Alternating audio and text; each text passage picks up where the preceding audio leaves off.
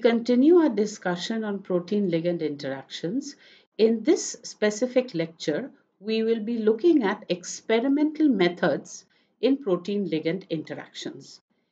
In the specific methods that we will be looking at, we will visit spectroscopic methodologies, ITC, that is isothermal titration calorimetry, differential scanning calorimetry, surface plasmon resonance. We have to remember that these are some of the techniques that are used. There are many techniques that are used to determine the protein ligand interactions that we have discussed in the previous lectures. For example, the construction of the binding curve. How do we know whether we have an exothermic or an endothermic reaction? Can we discuss the thermodynamic parameters? How are we supposed to determine the thermodynamic parameters from the data that we have? When we look at macromolecule ligand binding, therefore, we see we have our protein and we have our ligand. Now, based on this, we see that we look at the equilibrium associated with this association. Then we have our new factor that is the concentration of the protein ligand complex divided by the total amount of protein that we have. And we remember that the total amount of protein has to be either in the free form or in the bound form. From this, we can get the dissociation constant or the association constant depending upon how we write our equilibrium condition. From the dissociation constant, from the equilibrium constant, we can get the free energy associated with this at the specific temperature of the experiment. So if we look at ligand binding in general, we looked at this diagram initially where we have our protein and we are adding a particular ligand to the protein forming the protein ligand complex. As we add the ligand, we can monitor the titration of the protein with the ligand at a specific wavelength where we see that we have the peak. Now at any given wavelength, the total absorbance is the sum of the absorbance contribution from each of the species that we have here. Now, given that we are looking at this particular wavelength where we have the concentration of the PL increase as the ligand is being added to the solution. So this is the peak where we do not have the ligand, the total protein. And as we go along this curve, we see the amount of ligand added. And from that, we can find out our value of mu and the protein ligand concentration as well as the free protein that is available to us. Another aspect of determining thermodynamic parameters comes from the Van't Hoff equation. In the Van't Hoff equation, this represents the relation between the change in the equilibrium constant, that is K equilibrium, of a specific chemical reaction and the change in the temperature T. Now at constant pressure, we have the Gibbs-Helmholtz equation. We know at equilibrium that delta G0 is equal to minus RT ln KQ, K equilibrium. And from this, we can work it out in a manner that we get this in terms of the enthalpic contributions. Looking at this specific relationship, we can rewrite it as this expression where we are looking at the K equilibrium. We know how to find the K equilibrium and from this, we have to see what information we can plot to get the specific thermodynamic parameters. So we can have the equilibrium constant determined at two different temperatures and from the slope of the curve we can determine or just by plugging in the values of the T2 and the T1 the K equilibrium obtained at these two temperatures we can get the value of delta H. In addition to this, using this particular equation, delta G is equal to delta H minus T delta S, we get a specific expression in terms of looking at the delta H contribution and the delta S contribution given our K equilibrium. This expression is known as the Van't Hoff equation and it indicates that if we plot it is of the form of y is equal to mx plus c. If we plot ln k equilibrium versus 1 by t, we can see that the slope is minus delta H 0 by r and the intercept is plus delta S by r. So we can have an exothermic reaction where we will get a delta H value less than 0.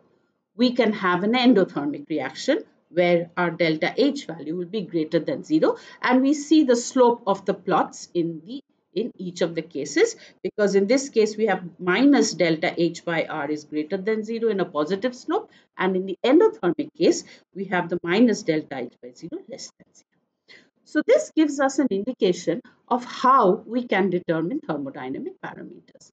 Let us look at a specific example now where we are looking at the ligand binding to human serum albumin, the abundant protein in our plasma. This is the structure of human serum albumin. If we want to look at a specific ligand binding to HSA, we can opt for this tryptophan residue and see how the fluorescence of the tryptophan residue is affected by the binding of the ligand. In this particular case, we can choose this ligand, epigallocatechin gallate, EGCG, and see what difference in the spectra we observe on binding of EGCG. So this is our structure of EGCG and this is what happens to the fluorescence intensity at this specific wavelength that corresponds to the tryptophan residue and the reduction in the fluorescence intensity at that point of the emission of the tryptophan indicates that this particular ligand is going to the site where the tryptophan is present.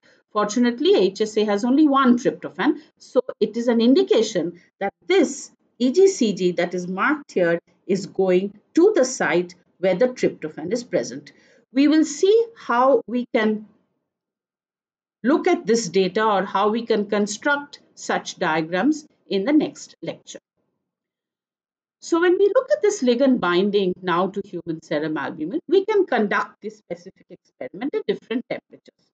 And from a scatter plot, we can get the value of n, that is the number of the stoichiometry of the equation. And from this information, we can plot a Van, der Waal, a Van 't Hoff plot, where we have the ln k versus the 1 by t. We have a positive slope. So from this, we can get our slope and our intercept, getting our thermodynamic parameters. So this is a way in which we can determine the thermodynamic parameters for ligands binding to proteins. In this case, we looked at a specific fluorescent spectroscopic technique. If our protein ligand is such that there is a change in the UV spectra, we can also monitor that. Our idea is to monitor the reduction in protein concentration, the increase in protein ligand concentration to monitor the effect of the K equilibrium that is observed.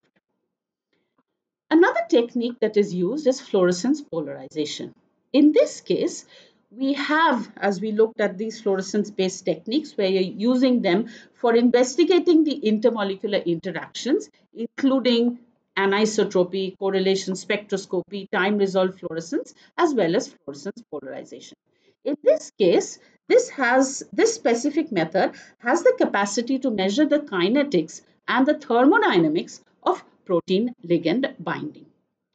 So the principle of fluorescence polarization derives from the fact that at the initial polarized fluorescence emission becomes unpolarized over time and this would happen when the ligand is in the unbound state. As such, it can be utilized for competition binding analysis in which the ligand molecules are bound and then they can be used for competing ligands to measure the affinity for both labeled and unlabeled ligands also. So let us see how this works. So if we have a polarized excitation and we have a ligand molecule that has this tag along with it. Because it is small, in size, there is rapid rotation of the small molecule fluorophore resulting in a low signal. However, if this were attached to the protein, because of the larger molecule, the macromolecule that is this fluorophore is now attached to, the motion of the molecule is slowed down. The rapid rotation is no longer possible, giving us a high FP signal which can be monitored. The advantages of this technique makes use of a single fluorescent label, but it also could be proportional to the binding and is not a direct measure and there could be absorptive interference or inner filter effects possible and the binding to the protein may also be affected by the fluorescence label. Another method that is commonly used to determine the thermodynamics of the binding reaction measures the heat evolved or absorbed during the binding reaction. This is the isothermal titration calorimetry, where we look at the specific expressions that we know for delta G0 minus RT ln K equilibrium and minus delta G0 delta H0 minus T delta S. Now, when we, we know how we can monitor the K equilibrium, given that we know a methodology to determine the free protein and the bound protein. From that, we can get a scatter plot. From the scatter plot, plot, we can get the stoichiometry. We can also get the dissociation constant, which is what we are interested in in a protein ligand binding experiment. In this particular diagram, we see that there is a reference cell and there is a sample cell. And this is the syringe that is used for sample injection. The sample cell contains the macromolecule in the buffer solution and the ligand is present in the syringe. So this is where we have the ligand and in the sample cell here we have our protein of interest or the macromolecule of interest. This ligand is then injected into the macromolecule, in this case the protein, by computer controlled injections. There is in here a small paddle shaped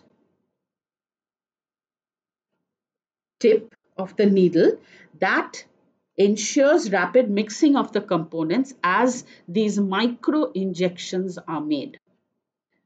Following the micro injections, these coin-shaped cells that are in the adiabatic chamber are kept at the same temperature and the delta T is very small between these two. And the temperature measured here is extremely precise. We have to be careful because the sample can get heated fast and cooling is slow. So the sample should be colder than the experimental temperature when the loading is done. So given our experiment, we have our protein in this cell here, our reference cell here, and the ligand being injected into the protein of interest. During the injections, there is the occurrence of a reaction, an interaction that results in either the evolution of heat or the absorption of heat. What is going to happen in that case is there is going to be a temperature difference between the reference cell and the sample cell. How is this treated? So when this injection is made, heat will be either generated or absorbed by the interaction, giving us either an exothermic or an endothermic reaction. The heat input in the sample cell is adjusted to keep the delta T constant. And what we observe is we in the exothermic reaction, we see negative peaks because less heat is needed when the reaction proceeds. Conversely, when we look at an endothermic reaction, this will result in a positive peaks because more heat will be needed when the reaction proceeds. This heat put is then integrated over time until it reaches the baseline. So the heat generated or absorbed after each injection is a function of the ligand concentration in that injection and the total amount of the ligand added till that point. So when we have the first injection, we have heat variations, heat changes, comes back to the baseline, leading to the next injection, and so on and so forth. So depending upon the injections and depending upon it coming back to the baseline every time before the next injection occurs, we have to monitor the data. So the ITC measurements have this as the raw data and this corresponds to the concentration of the molecule in the cell, the number of binding sites present on the protein, the binding constant and the enthalpy of the reaction. The observed heat change per injection given by dq by dlt is fitted now into a theoretical binding curve from which we can get the stoichiometry, we can get the enthalpy and we can get the affinity. This is useful for determining the thermodynamic parameters of the particular protein ligand interaction. So how do we get the thermodynamic parameters? This is a typical binding curve which gives you the kilocal per mole of injection of the injectant and the molar ratio that is observed. Following this, this binding curve as we recognize resembles the traditional binding curves that we have seen. From this we can get the Kd value, the dissociation constant, we can get the delta H value, the delta G value and the delta S value following the thermodynamic experiment from an ITC instrument, the isothermal titration calorimetry. The temperature dependence of enthalpy, entropy and the Gibbs free energy of a binding of IPM to this particular dehydrogenase is now shown here. So we have a, pro, a ligand that is 3-isopropyl malate and the protein 3-isopropyl malate dehydrogenase. This is the typical curve that we get from the change and from the temperature changes associated with this and this gives us an idea of the typical values.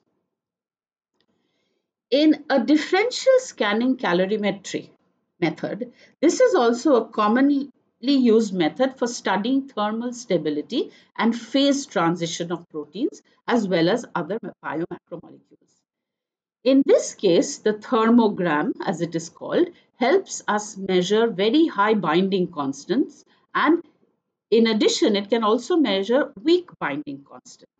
It is also possible to measure the stoichiometry of the complex at excess ligand concentrations and also account for simultaneous binding to several centers that could also have centers with low affinity. So there could be sites that have low affinity for the ligand that also can be monitored through DSC.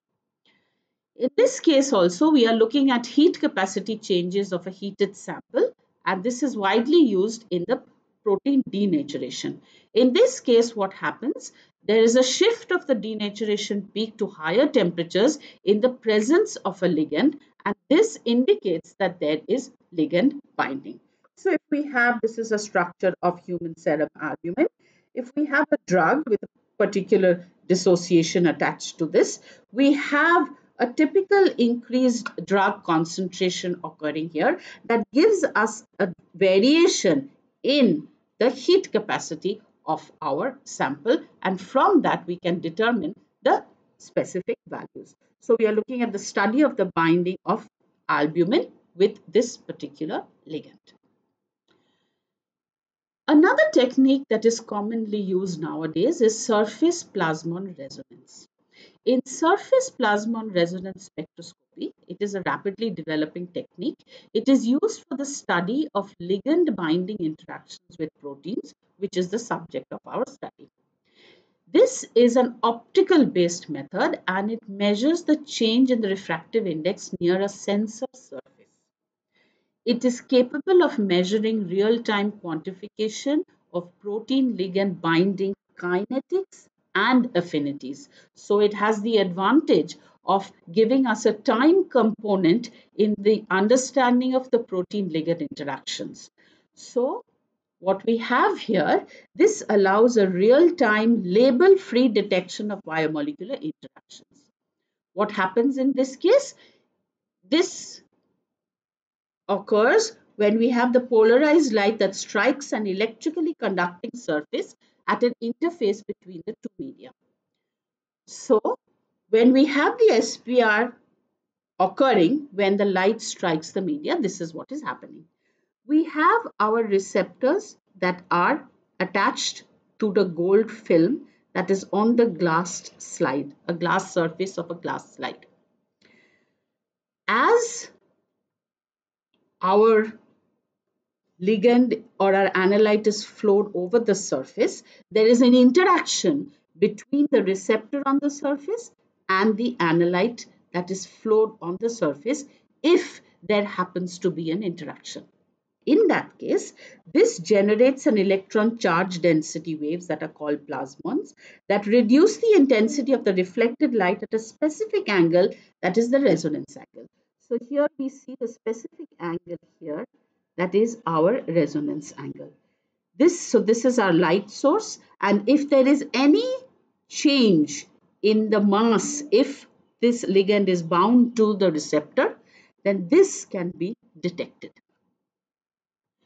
This has been developed and performed predominantly using this technology, BFR technology. So let us see how it works. The target molecules, the proteins, are immobilized on the surface that we see here, that is the gold film on the glass slide. The sample with potential ligand is injected over the surface where we have the flow of the analyte. If there is an interaction. The angle of minimum intensity reflected light is detected. This gives a change as the molecule binds and dissociates and the interaction profile is recorded in real time in what is called a sensorgram. So we see an association followed by a dissociation depending upon how strong the affinity of the ligand is for the receptor molecule. This is a typical sensorgram, which is a plot of the response against time, showing the progression of the interaction. So we are looking initially at the baseline that is corresponds to the running buffer. So the bars below the curve here, this is a schematic of a sensorgram. The bars below the curve here indicate the solutions that pass over the sensor surface. So initially we have a baseline because this is just the running buffer. As we have the sample injected, there is association that is given by this sensor.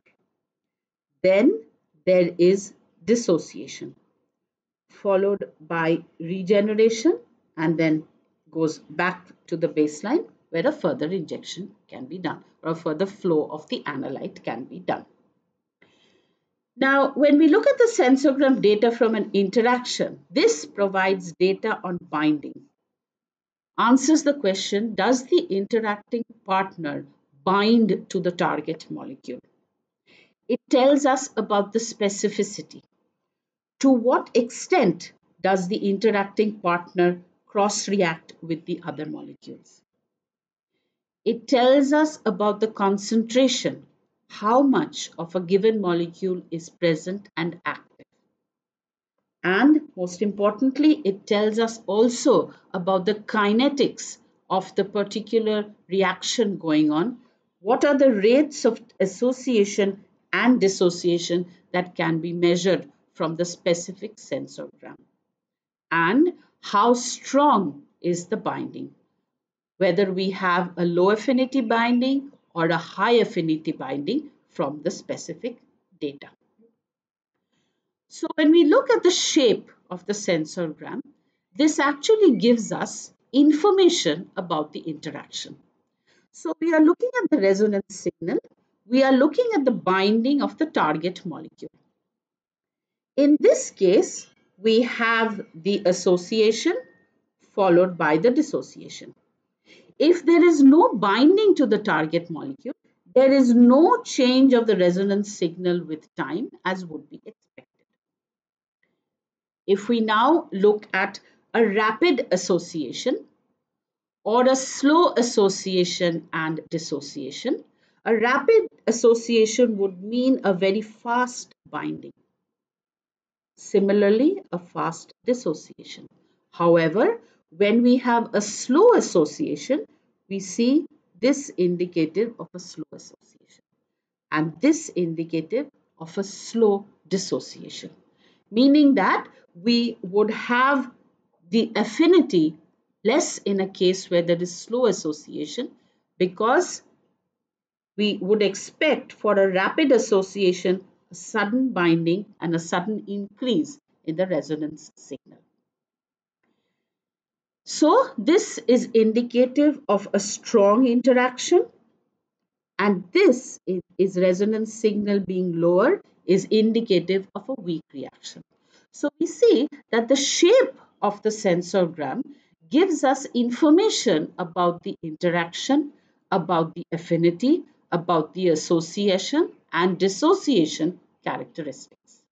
Additionally, it can also give us information about multiple binding where we could have these changes in response and we could have multiple binding associated with different kinds of response in the sensorgram. So what we have looked at in the previous lecture is the determination of association and dissociation constants from a knowledge of our protein concentration, our ligand concentration and how they interact to give us our protein ligand complex in an equilibrium situation. We understood how we can plot the scattered plots that give us an indication about the stoichiometry, give us an indication about the variations in our reaction or our interactions in this case. So we look at an association constant in the typical law of mass action where we are looking at an equilibrium situation in the thermodynamics of the specific interaction. The Ka value we know is now the inverse of our Kd value. We looked at specific spectroscopic methods, particularly fluorescence and fluorescence depolarization to see how the interaction of the ligand with the protein can change the characteristic spectrum of the protein. To have a knowledge, get a knowledge of the protein ligand concentration or the depletion of the protein concentration. Other interactions that give us thermodynamic characteristics of our specific interaction between the protein and the ligand are given by isothermal titration calorimetry, differential scanning calorimetry. And in surface plasmon resonance, we can follow the kinetics of the association and the dissociation. And we can measure the binding, the specificity of binding, the ligand affinity, and we can follow this association with time. These are the references that have been followed. Thank you.